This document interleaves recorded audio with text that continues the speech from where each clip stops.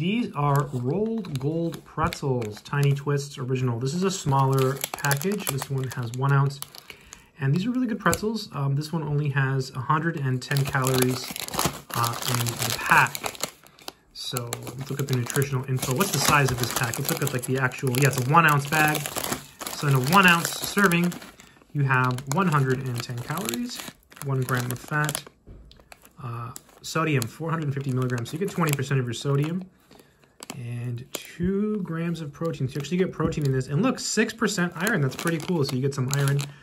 Um, really, you know, these aren't like nutritionally rich, but they taste really good. These go really well with like a lunchtime sandwich uh, or even by themselves in between meals. Maybe you're waiting for lunch and lunch isn't for two hours. So you can have a bag of Rold Gold.